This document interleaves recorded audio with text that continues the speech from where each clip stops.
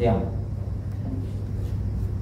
Terima kasih atas kesempatannya. Nama saya Andri, pemegang saham minoritas sejumlah 24.800. Saya ingin bertanya,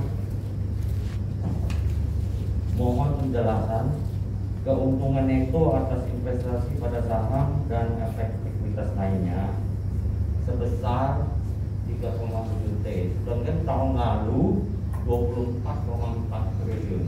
Kenapa? Terima kasih Bapak Andre. Saya undang kepada Bapak Michael Surejaya sebagai kepada Ibu Lani. Kepada Ibu Lani Wong. Ibu Lani Wong untuk dapat menyampaikan penjelasan.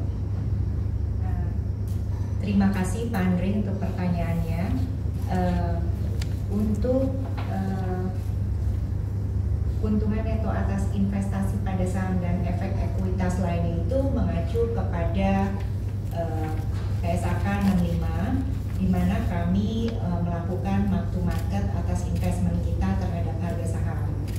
Sehingga kalau dilihat memang selama 2021 kenaikan saham-saham yang uh, merupakan portfolio Saratoga mengalami kenaikan yang sangat signifikan sehingga per tahun 2021 kenaikannya 24 triliun.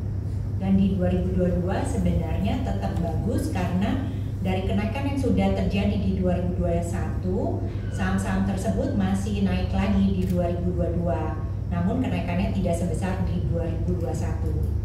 Uh, sebenarnya seperti itu Pak, sehingga uh, kami mencatat kenaikan 3,7 triliun.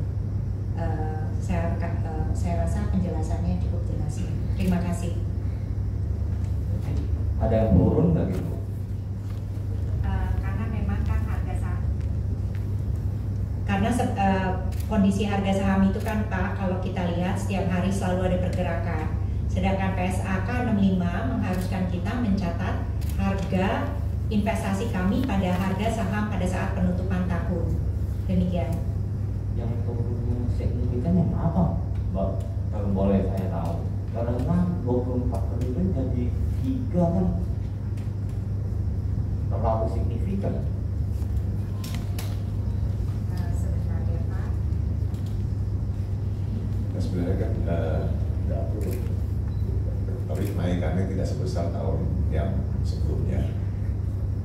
Eh, tapi mungkin kalau nanti setelah rapat Pak, mungkin kita bisa bisa memberikan penjelasan yang lebih lebih apa, lebih komplit, lebih komprehensif kalau boleh. Ya, kasih. Iya sebenarnya harusnya dilihat seperti itu Eh, yang seperti dijelaskan Pak Michael se- selama sebenarnya kenaikan investasi waktu market yang positif secara overall sebenarnya eh, average saham kita naik semua Pak. Makanya waktu marketnya masih positif.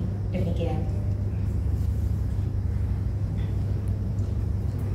Baik, ji- karena semua pertanyaan telah dijawab, maka saya mengusulkan kepada rapat untuk pertama menyetujui dan menerima dengan baik laporan tahunan perseroan untuk tahun buku 2022, termasuk laporan tugas pengawasan Dewan Komisaris Perseroan dan mengesahkan laporan keuangan konsolidasian perseroan dan entitas anak untuk tahun buku yang berakhir pada tanggal 31 Desember 2022 yang telah diaudit oleh akuntan publik Hari Wijaya SACPA dari kantor akuntan publik Sidarta Wijaya dan rekan